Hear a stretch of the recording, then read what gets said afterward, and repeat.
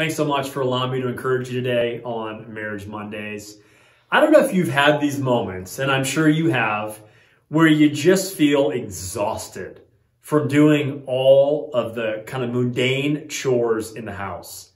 I had a moment recently where there was just piles of laundry that I was doing, just finished grocery shopping. My wife was away and I'm exhausted. And I've got hangry teenagers that really aren't very appreciative. I've got a dog that's looking at me because he's hungry.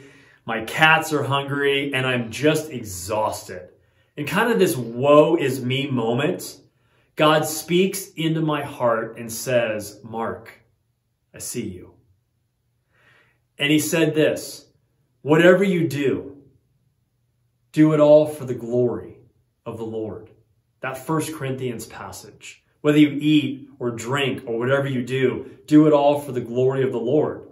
We're not doing these chores around our house. Yes, we want to have people appreciate what we're doing. But at the end of the day, we're doing it to please the Lord. We're doing it for His glory.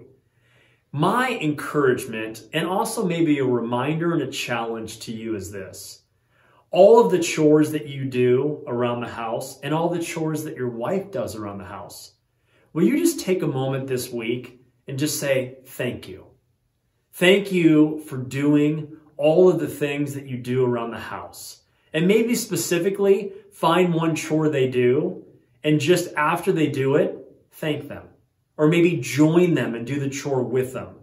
But let it be this beautiful partnership. We're not doing this so that our spouse can say thank you. We're doing it because we're doing everything for the glory of the Lord. Thank you so much today for allowing me to encourage you. Have a great day.